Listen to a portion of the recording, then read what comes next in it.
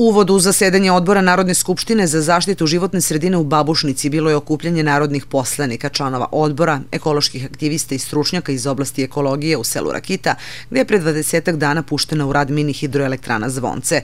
Profesor Šumarskog fakulteta Ratko Ristić rekao je medijima da u mnogo faza procesa izgradnje ove mini hidroelektrane nije ispoštovan zakon, a opština Babušnica, kako navodi, nije utvrdila javni interes za izgradnju objekta za koji je izdala zvanični akt. Postavlja se pitanje kako je bilo moguće da lokalna samouprava izda građevinsku dozvolu ako nije bila kompletna tehnička dokumentacija, a i lokalna samouprava je Babušnica izdala jedan akt u kome stoji da nije utvrđivan javni interes za izgradnju, za izgradnju objekta.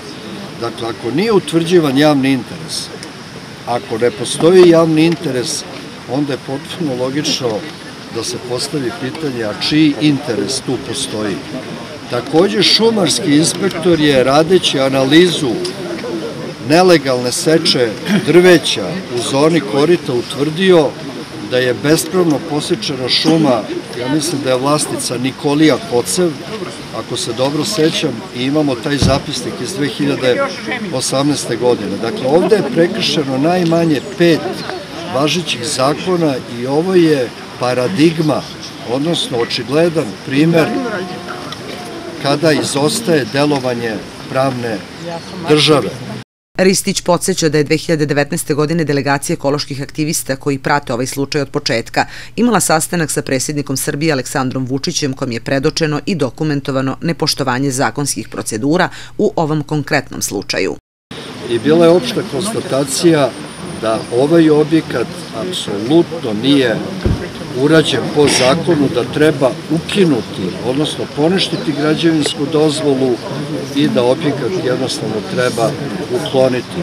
Vučić je tad obećao da će doći u Rakitu, nije mi poznato da ikada bio ovde, vidite da je objekat pušten u rad i dalje stojim pri svim navedenim dokazima da je ovo potpuno nelegalno i da je prekršeno nekoliko zakona. Poslanici Srpske napredne stranke pre sednice odbora održali su konferenciju za medije. Podpredsjednik odbora za zaštitu životne sredine Milimir Vujadinović je na konferenciji pre sednice odbora istakao nepravilnosti u organizovanju sednice i procedura za njeno održavanje i kako navodi podmetanja drugih spiskova učesnika ove sednice. Sve ono što je predmetna mini hidroelektrana, a što sud presudi, ja podržavam. Ako sud presude treba se ruši, podržavat ćemo. Ako sud presudi da treba da ostane, onda može da je brane sve institucije ove države.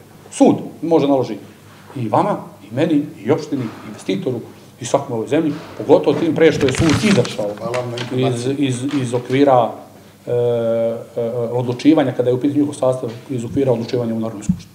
Eto, ja ne znam šta bi vam drugo. Jedan potpuno legalistički stav. Ako mene naravno pita. Kao što sam rekao prošli put, i za litijum sve ono što radi Češka, Nemačka, Finska, u skladu sa našim zakonodavstvom, naravno koji je otprilike u saglasu sa evropskim zakonodavstvom, naravno podržava. Kako mogu biti nešto protiv izgradnje bilo čega što je na korist ove države u skladu sa zakonom? Uprkos kašnjenju, sednica odbora za zaštitu životne sredine je održana u zgradi Babušničke opštine. Predsjednik odbora je još jednom pozvao na poštovanje zakona u slučajevima kakav imamo u Rakiti.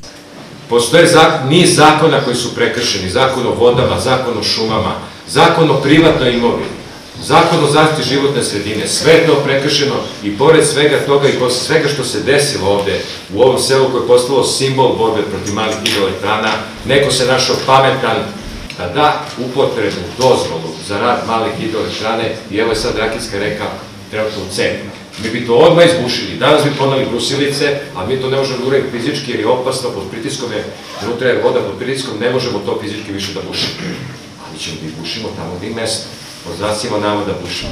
Da poštujemo zakon, zato će ovakvi odbori biti na svim mestima gde se ljudi bukvalno svode na nekakve robove, na, na, na brojke, oni koji baš briga za te ljude. Znači, sledeći odbor će biti u Dadnicima, bit će na svakom mestu da se sprovodi zločine ljudima i na prirodi. Od formiranja u ovom sazivu, Odbor za zaštitu životne sredine Narodne skupštine nekoliko puta je zasedao van Beograda, a kako je istakao presjedavajući odbora Aleksandar Jovanović Ćuta, ovo će postati praksa, naročito u mestima gde postoje ekološki problemi.